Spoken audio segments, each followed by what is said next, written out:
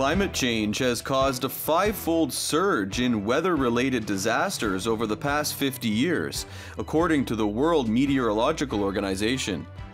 지난 50년 동안 기후변화로 인한 날씨 관련 재해가 5배나 증가했다는 세계 기상기구 WMO의 연구 보고가 발표됐습니다.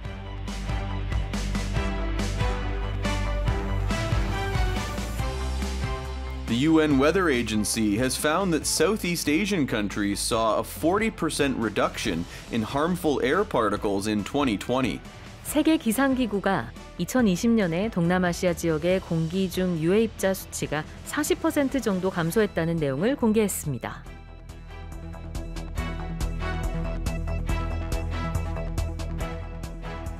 Water related hazards have topped the list of natural disasters with the highest human losses in the past 50 years. 지난 50년간 가장 큰 인명 피해를 발생시켰던 자연재해는 물과 관련한 재해였던 것으로 드러났습니다.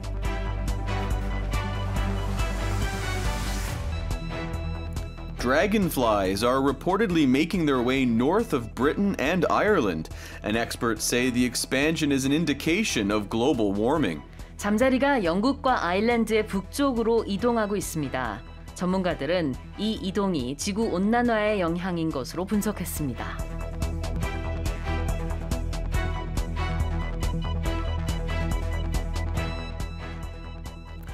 And those are our morning headlines today.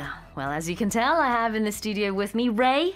그럼 지금부터 앞서 들려드린 오늘의 주요 headlines, 뉴스카스터 레이와 함께 더 자세히 짚어봅니다.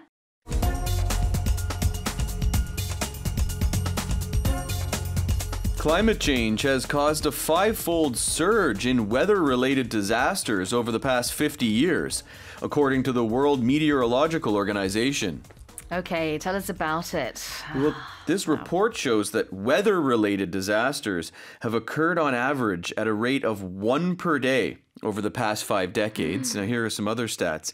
These disasters have killed 115 people and have caused $202 million in losses on a daily basis. Oh my goodness, the, the figures are staggering. But what sort of weather related disasters are we talking about?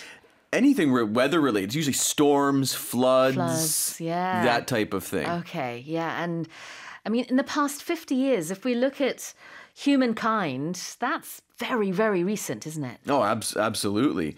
And uh, one thing that that um, that we have seen here is that the number of deaths because of the greater number of storms and floods and droughts as well, the number of deaths have actually fallen quite sharply. Okay. So that's quite interesting. Scientists say that that climate change uh, and more extreme weather, better reporting, these are behind the rise in these extreme cases. The So fact that we're able to report them. The number of weather related diseases has gone up.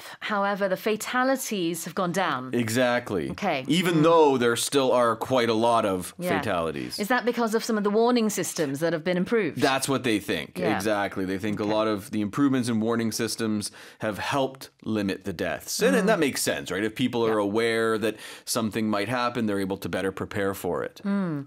when we say five-fold, that means five times. Five yeah? times. And you can use, you can say twofold, threefold, you Mm. can say any number. 뭔가가 이제 두 배, 세 배, 네 배 이렇게 늘어났을 때 twofold increase or threefold surge, uh, fourfold um, uptick 뭐 등등등 뒤에 이제 명사 하나 쓰시면 되는데요. 앞서서 이 fourfold, fivefold, sixfold 이 단어들을 쓰면은 이제 몇 배나 이렇게 됐다라는 뜻이 되겠습니다. So we've seen a fivefold surge or an increase in weather-related disasters in the past 50 years. Usually, when you use the word surge, it's quite a big increase. So, five times, that's quite big. That's, quite a surge. Big increase. Yeah, absolutely. Okay, we're going to leave that story there and move on to headline number two. The UN Weather Agency has found that Southeast Asian countries saw a 40% reduction in harmful air particles in 2020. Oh, well, last year, of course, many countries were under lockdown and uh, not many cars or factories were operating. Uh, is that a reason for the the uh, air particles getting uh, less. Yeah, Absolutely. So these the- these harmful airborne particles, as they're called, these are caused by traffic and energy production. So, as you mentioned, because of lockdowns and the economic downturn, they weren't as active. So then my question would be does that mean when all the factories are now back in operation and more cars are on the roads, are we going to see the air quality go bad again? More than likely. possible yes, then? Yes, Yeah, more than yeah. likely. China, Europe, and North America, they also saw emission reductions and improved air quality during the pandemic's first year. Mm. But as we know, with with factories reopening and people traveling again, it might not. It, the trend might not continue. Mm, Probably won't. Yeah. Um, so I understand the UN Weather Agency uh, released this report, and it, it it actually looked at many different parts of the world. It wasn't just Southeast Asia, but of course uh, that's closer to us, and so we're focusing on that here. But um, you know, other parts of the world saw similar things happening. The air clearing a little bit, I guess. Yeah, we saw air clearing, but we we also saw a lot of um, a lot of other events Hmm. that affects air quality in a negative way. Such as sandstorms. So in June 2020, there was the Godzilla dust cloud. This was the oh. largest African dust storm on record. Mm-hmm. And then something that we've talked about a lot is all the wildfires we saw last right. year and this year from Australia, North America, even up in mm. Siberia. And these events have worsened air quality significantly. So, on one hand, we have, because of the lockdowns, we saw a reduction in harmful air particles, human caused emissions. But because of climate change, we're seeing these, you know, these extreme weather events Yeah. that are having a negative impact on air quality. I remember reading an article quite a while back about the wildfires uh, that happened in Australia. Because of that, there were plumes of smoke traveling around the earth. Yeah, I saw that too. Oh my goodness! And it reached America. You know, it was it was literally traveling around the globe. And that's and that's what these uh, these sand and dust storms do the same thing. They'll travel from continent to continent as well. All right. Well, I mean, if we look at the headline itself, it does seem to be good news in a way. Because, Good news for Southeast Asian Yeah, countries. because last year Southeast Asia saw a reduction in harmful air particles. But as you said and pointed out, uh, we will have to wait and see how things pan out in 2021 and ahead. Beyond, But- yeah, and we you have yeah. to take that headline in context. We- Yeah, absolutely. 자, 다음 헤드라인 살펴보겠습니다. Headline number three. Water related hazards have topped the list of natural disasters with the highest human losses in the past 50 years. A lot has happened in the past 50 years. As- I mean, in the first headline, we found out that there was a, a five fold surge in weather related disasters. But this one actually says that it was water related hazards. Uh, so, yeah, I mean, tell, tell us uh, what we know. What has the WMO told us? Well, this new report by the WMO says that droughts are responsible for the most deaths around the world in the past five decades. Get this 650,000 deaths. Storms have caused um, a lot, but not quite as many. Uh, they've put it around 577,000. And floods have led to more than 58,000 deaths. Wow.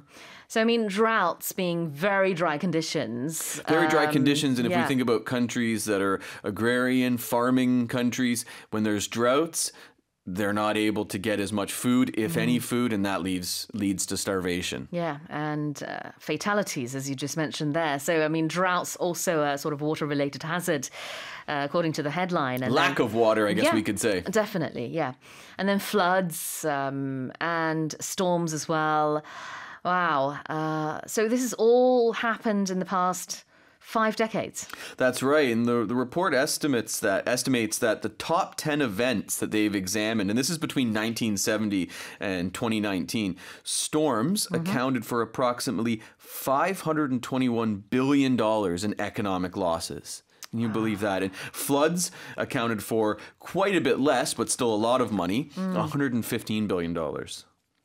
Europe saw a lot of weather related uh, uh, events happen last year, but it's been the case for several years, isn't it? 50 years, right. Floods and storms have resulted in the largest losses in Europe at a cost of $377.5 billion.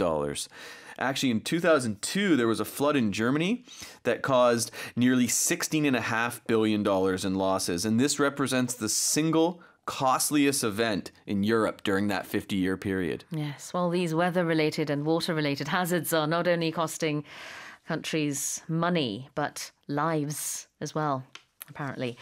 Okay, let's check our final headline. Dragonflies are reportedly making their way north of Britain and Ireland, and experts say the expansion is an indication of global warming. Mm. We see a lot of dragonflies here in Korea. They're nice. Um, they and nice. yeah, I like dra- dragonflies. But in the north of Britain, it's very rare to see dragonflies. And yet now it looks like they've decided to live there they're moving on up. Yeah, right. Absolutely. So this so this report again based on uh, 50 years of studying study, studying dragonflies as well as their close relative damselflies. Um, this report found that warming temperatures have allowed dragonflies to spread across the UK and Ireland at a really remarkable rate, and now some of these species are apparently regularly spotted as far north as Scotland. Oh wow. Uh, and you said it's an indication of global warming. So uh, I don't know whether this should be seen as a positive or a negative. Mm, I think more of a negative. So, mm. uh, according to Eleanor Colver, she's a conservation officer with the British Dragonfly Society. Uh, they're the ones who conducted this research. She said that because uh, dragonflies are cold blooded insects, um, they're very susceptible to changes in their environment. So, uh, historically in the UK, they haven't seen a you know great diversity of dragonfly species, but yeah. as the climate's warming and everything's becoming warmer, um, these species are now, these species are traditionally found in warmer areas mm. south of England or in Europe. Now they're starting to move further north because it's warmer. Yeah, and this isn't simply about the four winged insect. I mean, seeing the dragonflies move their habitat up north as you said, shows us that the temperature is warming, global warming is doing something in that part of the world. And that that is interlinked with so many other environmental issues. We could see glaciers melting eventually. And the other um, thing to mention here is this is not just a British phenomenon. This is not just something that's happening in the UK when it comes to dragonflies. It's actually happening all over the world. So, um, a co author of this study said in North America, the same thing is happening. Oh, really? So, uh, certain dragonfly species mm. that are usually in warmer temperatures, warmer climates, are also being found up north. Yeah. So, I mean, while they are pretty to look at, uh, this could be a warning sign from Mother Nature. Yeah, a bit of a harbinger of yeah. global warming. A harbinger, uh, 징조라는 뜻이죠. A harbinger of global warming. 기후변화의 한 징조일 수도 있습니다. All right, well, that's a look at our headlines today.